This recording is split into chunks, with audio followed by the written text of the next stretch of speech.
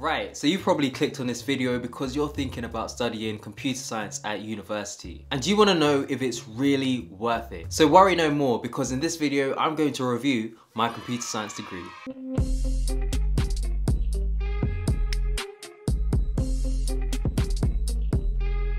Hey guys, welcome back to my channel. It's been a while since I've uploaded, but if you're new here, this channel is all about university and career. I mainly talk about the fields of computer science and law, but I do dabble into other areas as well. So if that sounds interesting and you find this video useful, make sure to hit that like button, subscribe to my channel if you're new, and leave a comment down below as well. But the reason you came to this video is because you wanna know what I thought about my computer science degree. So on the screen now, you should see a breakdown of this video so that you can skip to the parts that are of interest to you, or you can just watch all of it it.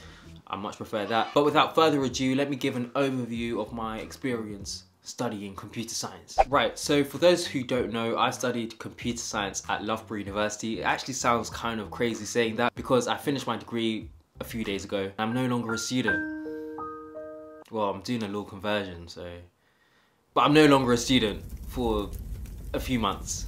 but yeah, I did, I studied computer science at Loughborough University. And overall, I would say it was a great experience, a great learning experience. But let me talk to you about the actual course structure so that you have an idea of what a computer science course at a good university might look like. So beginning with first year, I'll just give a general overview. First year was pretty evenly split across maths, theory and programming. Second year had a larger emphasis on programming. That was mainly because we had to do a team project that ran across the entire academic year, but there was still a good amount of maths slash logic and theory as well. Then after my second year, I did a year in industry. But if you do want to find out more about internships and industrial placements, then click on one of the videos that appears at the top. I can't really remember right now. but moving on to my final year. Final year had the largest emphasis on programming. And this was because we all had to do a final year project, which I can make a video on if you want to know what a computer science final year project might look like. But one thing that differentiated final year from the other years was that I was able to choose business modules to study. So I guess by sharing this course structure overview, I should remind you that it's worth looking at the course breakdown for the universities that you're interested in because you want to make sure that if you want to study a computer science degree that has a lot of programming in it, then you apply to universities that can offer that. Um, if you want an evenly distributed course, then apply to universities that can offer that as well. And I would say that Loughborough falls in that category, at least in my opinion, of having quite an evenly distributed course around maths, theory, and programming. And I guess that you should remember that if you're studying any subjects at university, you're trying to develop a wide understanding of the entire subject area. But yeah, that's a quick breakdown of my my course's structure. Now let's go on to a few of the questions that I have set myself. So the first question is, what did I like about the course? One thing that I definitely liked about studying computer science, and this applies to most computer science courses at universities, is that in your first year, they assume that you don't know anything about computer science. So if you're someone who doesn't come from a computer science background in terms of A levels or IB or whatever qualification you did, you don't have to worry too much that you won't understand the concepts that they teach you because they're going to teach you in a way where they're assuming that you're a beginner. Having said that, I believe that most university courses require that you study maths at A level or at an equivalent level. And I know that physics is another subject that is quite popular amongst computer science students in university. Another thing that I quite liked about studying computer science was how relevant it felt in today's world. So if you were to list out all the university subjects that are available at universities, I would say that computer science would rank quite high up when it actually comes to relevancy in today's world. And this is because you'll be learning about contemporary programming languages. You're also going to be learning about new computer science concepts and technologies. The third thing that I would say I really enjoyed about studying computer science was the sense of satisfaction that came when I would overcome a technical challenge. So if you're familiar with programming or if you're starting programming, you're going to know that there will be times where you are stuck and you have a bunch of code in front of you and you need to find where an error is or you need to find how to make the code better. And I won't lie, sometimes trying to figure out those things can be absolutely soul destroying. But the moment that you're able to figure something out and approach a problem in a different way and it actually leads to a solution that you can work with, that is very much a satisfying accomplishment. So yeah, if you're someone who's into problem solving and you also want to develop your understanding of computers and be technically sound when it comes to technology, then computer science is definitely a subject that you should consider. And the final thing that I would say that I like about computer science is that it is a very well respected degree to have. So yeah, those are a few things that I liked about my course. So let's go on to the next question. What did I think could be better? Hmm, that's a good question, you know, that's actually a good question. What do I think could be better?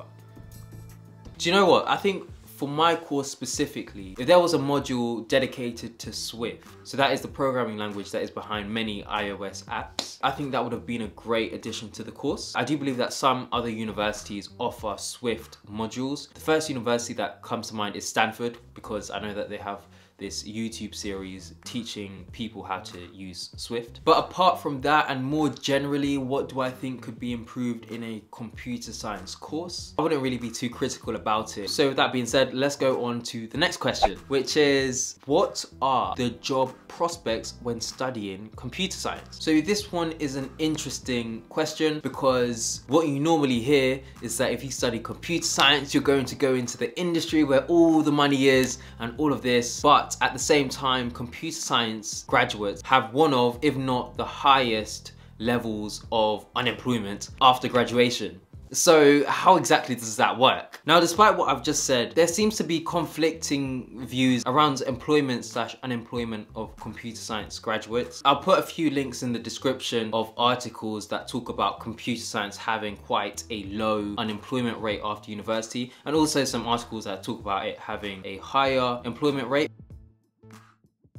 Where exactly does the truth lie? Well, what I would say is that if you study computer science and you are a very skilled programmer, you're a very successful student, then you shouldn't really worry about securing a job because you'll have the skill set and technical ability to thrive in any tech work environment that you're thrown into. But if you're studying computer science just to learn the basics of programming and you're just going to make basic web pages or basic apps and that kind of stuff, then you may struggle to be successful in securing software engineering jobs or any other technically intensive computer science jobs because the competition will be so high. So yeah, my, my personal view on it is that if you're a very good computer science student and you also have great social skills, then there is really nothing to worry about. Just be the best version of yourself and you'll have this really valuable skill set that is very useful in today's world. Another Another thing that I would talk about in terms of job prospects is that if you study computer science, you're not limited to only getting tech roles at companies.